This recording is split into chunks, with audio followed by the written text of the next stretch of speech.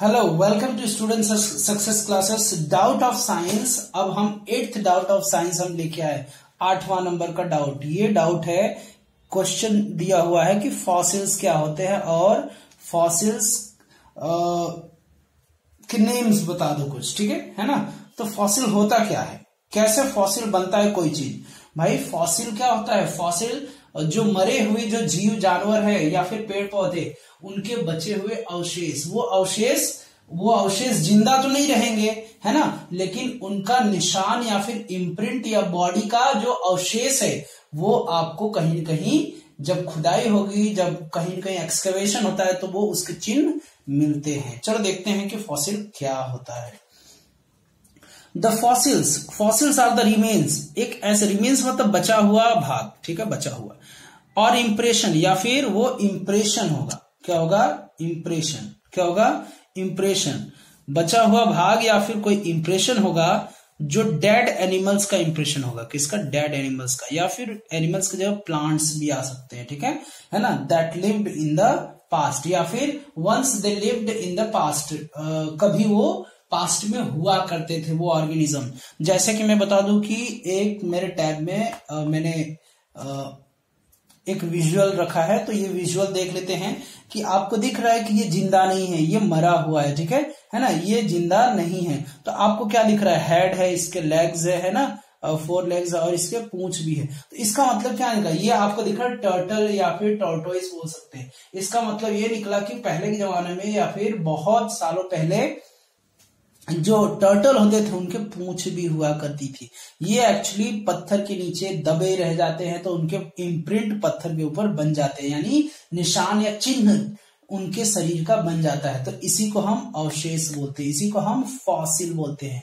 और इस कई एक्सट्रीम टेम्परेचर या फिर एक्सट्रीम प्रेशर की वजह से क्या होता है? हाँ टेम्परेचर और प्रेशर की वजह से ये इनके बॉडी के अंदर जो तेल होता है, वो रिस्क के अर्थ के नीचे चला जाता है। वही उसी को हम क्या बोलते हैं? फॉसिल फ्यूल्स भी बोलते हैं। जैसे पेट्रोल डीजल ये सब हम निकालते हैं ना अर्थ के नीचे से। तो ये सब क्या है? फॉसिल फ्यूल्स ही है। ठीक है? कोयला भी क्या है? आ, पेड़ पौधे के दबने से बना है। तो पेड़ पेड़ पौधे के दबने से जो बना है वो भी क्या? फॉसिल फ्यूल में ही आएगा। चलो आगे। डेफिनेशन समझ में आ गया कि फॉसिल्स रिमेन्स होते हैं बचा खुचा पार्ट होता है या फिर कोई इंप्रेशन है ना? कोई चिन्ह होता है। किसका? डेड एनिमल्स या फिर प्लांट्स का होता है, जो कभी पास्ट में ज़िंदा हुआ करते थे, ठीक है? अब वो नहीं है। यूजुअली नॉर्मली होता क्या है? व्हेन ऑर्गेनिज्म जो जो जीव है ऑर्गेनिजम्स जब मरते हैं तो देयर बॉडीज आर डिकम्पोज उनके बॉडीज डिकम्पोज होते हैं। जो उनके बॉडी में जो मसल्स होते हैं ना, मांस होते हैं, है ना मस्कुलर पार्ट वो डिकम्पोज होते हैं सड़ गल जाते हैं, कीड़े मकोड़े खा जाते हैं एंड लॉस्ट हाउएवर भले ही अगर द बॉडी और सम ऑफ़ इट्स पार्ट्स अगर उसके कुछ हिस्से या फिर शरीर के कुछ हिस्से अगर बच जाए, है ना its part parts remain in environment अगर उसका पार्ट्स जो रिमेन बचा हुआ, अगर एनवायरमेंट में है, कहीं अर्थ के नीचे दबा हुआ है, ठीक है that does not decompose completely जो पूरी तरह से डिकम्पोज नहीं होता। जैसे हड्डी वाला सेक्शन हड्डी वाला पार्ट क्या है? जल्दी डिकम्पोज अर्थ में या मिट्टी में नहीं होता है। तो ये अर्थ में क्या होता है? एक तरीके से ऐसा जगह फिट हो जाता है, जहाँ पे वो सालों साल कई सौ साल तक वैसे का वैसे पड़े रहता है। और उसका चिन्ह कहाँ पे? पत्थर पे या फिर अर्थ के नीचे बन जाता है, ठीक है? डिकम्पोज कम्प्लीटली पूरी तरह से वो डिकम्पोज नहीं होती। हाँ मस्क्यूलर पार्ट डिकम्पोज लेकिन हड्डी वाला पार्ट नहीं होता है। द बॉडी और its part will eventually eventually मतलब आखिरकार be preserve under the earth earth के नीचे वो प्रिजर्व हो जाता है। एंड और अल्टरनेटिवली लीव द इम्प्रेशन या फिर क्या हो सकता है? या फिर उसका इम्प्रेशन इंप्रेशन दिखेगा। अगर हड्डी भी गल गई है, हड्डी भी खत्म हो गई है तो उसका इंप्रेशन ज़रूर दिखेगा, जैसे ये मैंने बताया। अगर हड्डी है तो हड्डी तो मिलेगा ही मिलेगा। अगर हड्डी नहीं बची तो उसका इंप्रेशन ज़रूर मिलेगा। मतलब इंप्रेशन मतलब कि उसका छाप ज़रूर मिलेगा। ठीक है? इफ़ डेड इंसेक्ट अगर कोई मरा हुआ इंसेक्ट है, कीड़े मकोड़े भी तो उनकी बॉडी भी पूरी तरह से क्या होती है?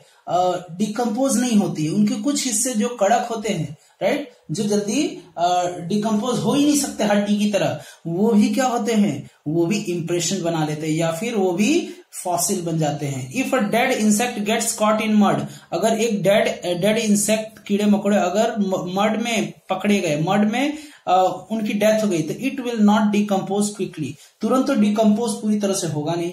And the mud will eventually और आखिरकार मड क्या होगा? सूख जाएगा है ना? And retain the impression on the body parts और उसके बॉडी पार्ट्स का इंप्रेशन उस मिट्टी में छप जाएगा ऑफ़ द इंसेक्ट ठीक है? चलो, इसमें कुछ एग्ज़ाम्पल भी पूछा है कि, कुछ एग्ज़ाम्पल बता दो, कुछ एग्ज़ाम्पल बता दो कि फॉसिल के नाम बता दो एमोनाइट कभी कोई क्वेश्चन पूछता है एक मार्क का कि एमोनाइट है क्या? तो इन्वर्टिब्रेट फॉसिल है। इन्वर्टिब्रेट का मतलब जिसके जो रीढ़ की हड्डी है, जो बैकबोन है, पूरी तरह से न विजिबल हो राइट या फिर आंशिक रूप से, या फिर पार्शियली विजिबल हो, ठीक है? है ना? या फिर नहीं दिखते हो, ठीक है? वर्टिब्रेट बोलेंगे तो जिसकी हड्डी बैकबोन अच्छी तरह से डेवलप हो, ठीक है?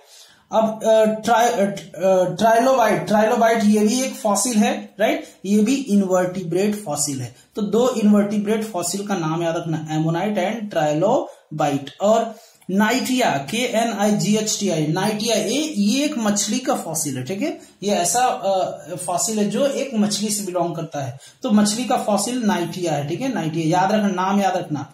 राजा सौरस राजा सौरस जो है ये डायनासोर का डायनासोर का क्या है? फॉसिल है। ये उसके स्कल खोपड़ी का फॉसिल है। खोपड़ी का खोपड़ी वाले हिस्से का ये फॉसिल है राइट? उसकी खोपड़ी का आ, हिस्सा कहीं पे खुदाई होने पर मिला है। तो राजा सौरस क्या है? ये एक स्कल है किसका? डायनासोर का ये फॉसिल है ठीक है? तो वीडियो आपको कैसा लगा? ये क्वेश्चन का आंसर कैसा लगा? तो अगर आपको समझ में आया तो डू लाइक द वीडियो। अगर अब तक सब्सक्राइब नहीं किया तो सब्सक्राइब करो फटाफट और शेयर करो जितने लोग को भी ज़रूरत है। That is all thank you bye bye